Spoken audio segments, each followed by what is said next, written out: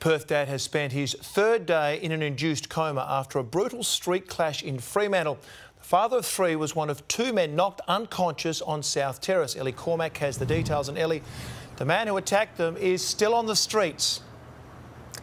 Yes, Tom, and police want your help to catch them. He attacked three men outside a Fremantle bar during a scuffle, knocking two unconscious. One of those victims, a 48-year-old father, he's in Royal Perth Hospital here tonight with serious head injuries. He's in a critical condition after being struck uh, allegedly in the middle of the road. And his family says that his 10-year-old daughter now can't understand why her dad won't wake up.